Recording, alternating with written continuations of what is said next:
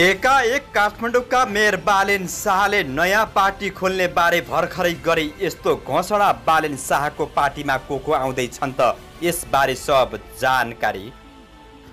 हत्या आरोप लागेका बाद शाहलाई लुम्बिनी प्रदेशबाट हटाउन डाक्टर केसीले गरे देउवासँग माग। एमसिसी खारेज नभए नेपाल दोस्रो युरोकियन बन्ने खतरा छ देव गुरुङ सांसद लिङदेनको प्रश्न एनसेललाई किस्ता बन्दीमा कर तिर्ने मौका किन दिएको हो? ओडा अध्यक्षको मृत्युबारे सिआइबीले छानबिन गर्नुपर्ने परिवारको माग? सांसद चन्द्र भण्डारीको प्रश्न यो देशमा सानाका कुरा सुन्नु पर्दैन। एमसिसीमाथि संसदीय अनुगमन समिति गठन गरियोस् घनश्याम भूषाल। र टुडी खेलमा युवाहरूले गरेको विरोधलाई सरकारले सकारात्मक रूपमा लिनु पर्दछ राजेन्द्र लिङ्गदेन आजको यो भिडियोमा यो सब अपडेटले हजुरमा आज उपस्थित भइसकेको छु। यो सब जानकारी पाउनको लागि भिडियोलाई सुरुदेखि अन्तिमसम्म फलो गर्नुहोला। केही सुझाव सल्लाह छ भने तल कमेन्ट गर्नुहोला। भिडियोलाई सक्दो सेयर गरी सबै नेपालीसम्म पुर्याउन मद्दत पनि गर्नुहोला। हजुरको एउटा सेयरले गर्दाखेरि धेरै नेपालीलाई केही न केही जानकारी मिल्नेछ। मैले आफूले जानेका बुझेका कुराहरू हजुरहरूलाई बताउने गर्दछु। नयाँ आउनु भएको छ। अझै पनि हाम्रो यो नेपाली अनलाइन युट्युब च्यानलसँग जोडिनु भएको छैन भने सब्सक्राइब र साथमा रहेको घन्टीलाई दबाई हामीसँगै जोडिनुहोला। अब ढिला नगरिकन लागौँ आजको विषय वस्तुतिर दर्शकबिन नेकपा माओवादी केन्द्रका महासचिव देव गुरुङले अमेरिकी आर्थिक सहयोग मिलियन च्यालेन्ज कोअपरेसन एमसिसीको विपक्षमा उभिन आग्रह गर्नुभएको छ। नेपाल कम्युनिस्ट पार्टीको अन्तर्राष्ट्रिय विभागले मङ्गलबार राजधानीमा गरेको कार्यक्रममा बोल्दै उनले एमसिसीको विरोध गर्न आग्रह गरेका हुन्। अमेरिकाको सैन्य रणनीति अन्तर्गत नेपालमा एमसिसी ल्याइएको दावी गर्दै उनले सबै मिलेर यसको प्रतिवाद नगरे देश दोस्रो युरोपियन बन्ने खतरा रहेको बताउनु भएको छ। अमेरिकाको रणनीतिमा बस्यो भने नेपाल दोस्रो युरोपियन बन्ने खतरा रहेको छ। सम्पूर्ण वामपन्थी राष्ट्रवादी शक्तिहरूलाई एक ढिक्का भएर प्रतिवाद गर्न म आग्रह गर्छु। सबै मिलेर प्रतिवाद गर्न सकियो भने हाम्रो मुलुक सदाका लागि स्वाधीन बन्नेछ उनले भने। गुरुङले चिनलाई घेराबन्दी गर्न एमसी एमसिसी मार्फत अमेरिकाले आइपिएस एसपिपी सैन्य रणनीति लाद्न खोजेको दावी गरे अमेरिकी सैन्य रणनीतिको हिसाबले ब्याग भएका छैनन्। प्रत्यक्ष एन्स एसपिपीको हिसाबले लागू नगरे नगरे पनि विचार नीति हिसाबले ब्ल्याक भएका छैन उनले भने। उनीहरूले सोझै सैनिक ल्याउ ल्याएर क्याम्प बनाउन भन्दा पनि बढी भन्दा बढी सूचना केन्द्र बनाउन खोजेको छ। हामीले खबरदारी गर्न सकिए राष्ट्रिय स्वाधीनता गुम्ने खतरा छ। कार्यक्रममा उनले बङ्गलादेशकी प्रधानमन्त्री शेख हसिनाले अमेरिकी सैन्य क्याम्प राख्न टापु राख्न नदिएकाले सत्ता ढलेको दावी गरेकी छिन्।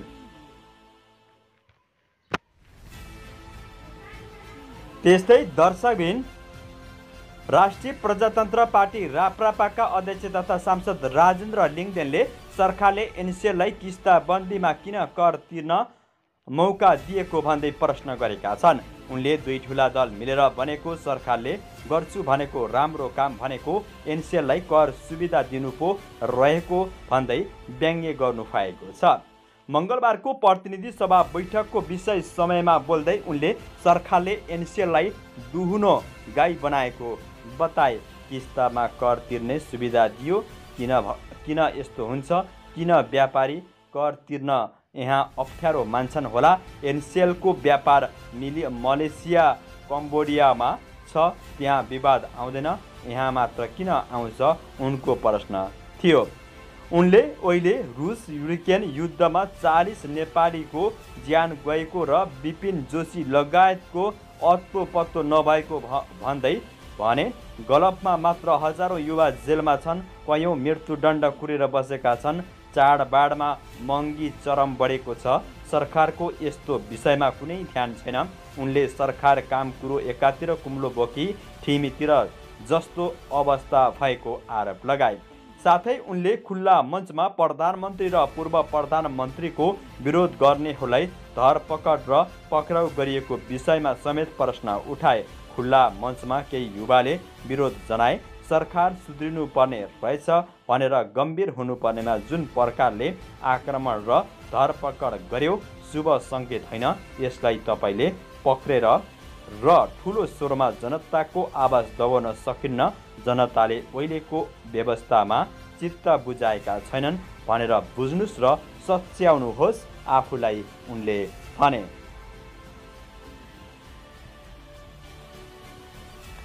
त्यस्तै दर्शकबिन डाक्टर गोविन्द केसीले बाँकीकी निर्मला कुर्मी हत्या आरोप लागेका बादशाह कुर्मीलाई लुम्बिनी प्रदेश मन्त्रीबाट हटाउन माग गर्नुभएको छ। काङ्ग्रेस केन्द्रीय कार्यालयमा पत्र पठाउँदै केसीले लुम्बिनी मन्त्रीबाट बादशाहलाई हटाउन उपसभापति शेरबहादुर देउवालाई मङ्गलबार आग्रह गरेका छन्। नेपालगञ्जकी निर्मला कुर्मीलाई निरन्तर यातना दिई अपहरण गरेको र हत्या गर्ने यु अभियुक्त बादशाह कुर्मी काङ्ग्रेस नेता विरुद्ध छानबिन तथा कारवाहीका लागि करिब तिन वर्ष अघि तपाईँहरूसँग बालुवाटारमा भेटी आवश्यक कारवाही अगाडि बढाउने तपाईँको प्रतिबद्धताका बावजुद काङ्ग्रेसका नेताका हस्तक्षेपका कारण छानबिन प्रक्रिया अगाडि बढ्न सकेन। डाक्टर केसीले सभापति देउबालाई लेखेको पत्रमा भनिएको छ। करिब डेढ वर्ष अघि पुष्पकमल दाहाल प्रचण्डलाई आफूले भेटेपछि यस विषयमा छानबिन प्रक्रिया अघि बढेको पनि उनले बताएका छन्। एकातर्फ छानबिनको प्रक्रिया महिनौ अघि सिद्धिएन। प्रतिवेदन तयार भइसकेको भए तापनि पार्टीका दबावका कारण प्रतिवेदनलाई आवश्यक अभियोजनका लागि सरकारी वकिलको कार्यालयमा पठाउने ढिलाइ गरिएको छ। अर्कोतर्फ तर्फ हत्यारा बादशाह कुर्मीलाई संवैधानिक नैतिकता कानुन र मूल्य मान्यता विपरीत हुने गरी निर्लज रूपमा लुम्बिनी प्रदेशको मन्त्री बनाइएको छ।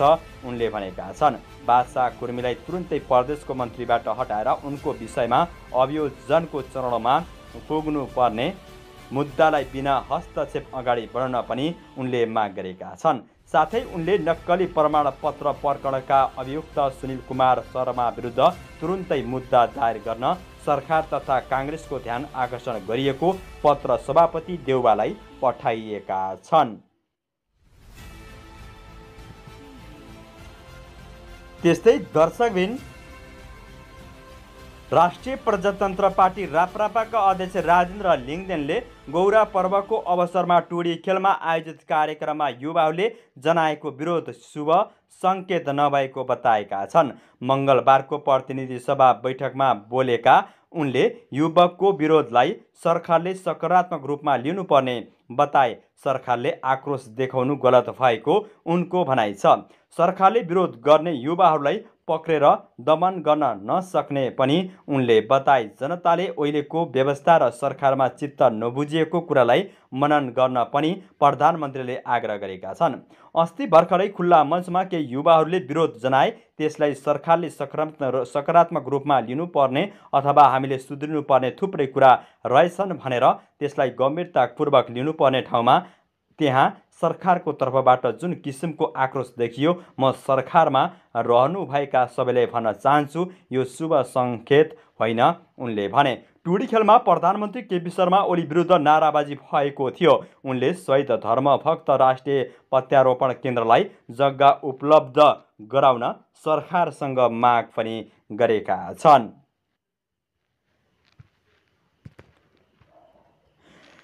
त्यस्तै दर्शकबिन महोत्तरीको रामगोपालपुर नगरपालिका दुईका वडा अध्यक्ष मुकेश कुमार यादवको मृत्युबारे सत्य तथ्य छानबिनका लागि उनको परिवारले माग गरेको छ। मङ्गलबार।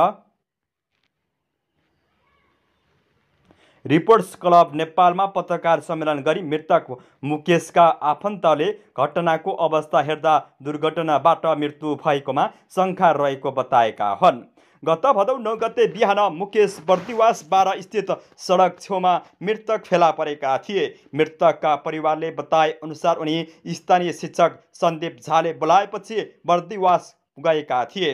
मुकेश बर्दिवास पुगेपछि सन्दीप दिलीप कुमार मण्डल र दुईजना केटीहरूले राजु होटलमा खाजा खाएको पाइएको उनले बताए। राजु होटलका सञ्चालकको भनाइ उद्धत गर्दै मृतक मुकेशका आफन्तले बताए अनुसार उनलाई सन्दीप दिलीप लगायतले रातको आठ तिस बजे गौरी डाँडाको होटलमा जाने कर गरेका थिए। उनीहरूले कर गर्दा पनि मुकेश जान नमानेको बताइएको छ। मृतक मुकेशका दाजु सन्त प्रसाद यादवले उक्त घटनाको अनुसन्धान नेपाल प्रहरीको केन्द्रीय अनुसन्धान ब्युरो सिआइबीले गर्नुपर्ने बताए। उनले घटनाको प्राकृतिक हेर्दा मोटरसाइकल दुर्घटनामा मुकेशको मृत्यु भएको विश्वास गर्न नसकिने बताएका छन्। उनले स्थानीय प्रहरी प्रशासनले पनि यस घटनालाई गम्भीरतापूर्वक नलिएको बताए। महतरीको साम्सी गाउँपालिका एकका वडा अध्यक्ष एन नेपाली काङ्ग्रेसका नगर सभापति विपिन बिहारी यदुले मृतक मुकेशको हत्या र पत्ता लगाउन राज्यले आनाकानी गरेको बताएका छन्। मृतक मुकेशको मृत्युबारे सत्य तथ्य पत्ता लगाउन दबाब दिन आफूहरूले महोत्तरी जिल्लाभरका वडा अध्यक्षहरूको समिति नै बनाइएको बताएका छन्।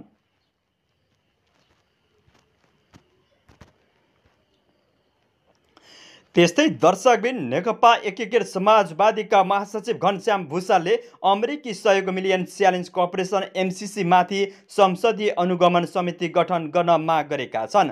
मङ्गलबार नेपाल कम्युनिस्ट पार्टीको अन्तर्राष्ट्रिय विभागले राजधानीमा गरेको कार्यक्रममा उनले एमसिसीलाई राष्ट्रियता विरुद्ध प्रयोग हुन नदिन अनुगमन समिति बनाउन माग गर्नुभएको हो। म त भन्छु एमसिसीमाथि संसदीय अनुगमन समिति बनोस् जसले व्याख्यात्मक टिप्पणी अनुसार लागू भइराखेको छ कि छैन त्यसमा केही समस्या छ अनुगमन समितिले स्पष्ट पारेपछि जनता हल्लाको पछाडि लाग्नु पर्दैन। एमसिसीलाई नेपाल विरुद्ध प्रयोग हुन नदिन कमसेकम एउटा भरपर्दो माध्यम चाहिन्छ भुषालले भने। त्यसकारण ओली र देउवाजी तपाईँहरू सत्तामा हुनुहुन्छ साँच्चीकै जनताका छटपट्टि र राष्ट्रिय स्वाधीनताको रक्षा गर्ने दायित्वप्रति इमान्दार हुनुहुन्छ भने पुरा गर्न माग। गर्दछु। अब अमेरिकी अधिकारीहरूले नै एमसिसी इन्डोनेसिया ट्रग स्ट्रियाज आइ आइपिएसको अङ्क हो भनेपछि तब यो विवादमा परेको उनले दावी गरे। आइपिएस अमेरिकाको चिन विरोधी घोषित मोर्चाबन्दी भएकाले सम्भावनाले नै नेपालको राष्ट्रिय स्वाधीनताको प्रश्न भएको उनको बुझाइ छ। दलाल पुँजीवादले कम्युनिस्ट काङ्ग्रेस राजावादी विखण्डवादी सबैलाई एउटै टेबलमा डिनर गराउने भएकाले ठुला ठुला भ्रष्टाचारमा भाग शान्ति राष्ट्रिय सहमति अनुसार वितरण हुने उनले दावी गरे। दलाल पुँजीवादीले कम्युनिस्ट काङ्ग्रेस राजावादी विखण्डवादी सबैलाई एउटै टेबलमा निडल डिनर गराउँछ एउटै भाषा सिकाउँछ एउटै कुरा सोच्न लगाउँछ तिनलाई विभिन्न रूपमा प्रस्तुत गर्दिछ गरिन्छ। कुनै पनि ठुला भ्रष्टाचार काण्ड छन् भने ती भाग शान्ति राष्ट्रिय सहमति अनुसार वितरण हुन्छ। त्यसैले सबै कब्जा गरिन्छ। हामी कहाँ त्यस्तै भएको छ तर त्यसले मात्र जित्न सकेको छैन। यो गौरवका कुरा हो उनले भने। दलाल कोट कोट कोठरीका डिनर पार्टीले मात्रै जित्न सकेका छैनन् किनभने स्वाधीनता इतिहासप्रतिको गौरवले जनताले प्रश्न उठाइरहेका छन्। सत्ताकै हिसाबले भन्ने हो भने गएको तिस वर्षमा तिनका पार्वती तिनले गरेका काम हेर्ने हो भने केही पनि रहँदै रहँदैन थियो। एमसिसी सा सामरिक रणनीति होइन। त्यसले हाम्रो संविधानभित्र रहेर काम गर्छ र बाह्र बुधे अनुसार नै हुन्छ भनेर दलहरूले जनतालाई आश्वासन गराउनु पर्ने उनले बताएका छन्।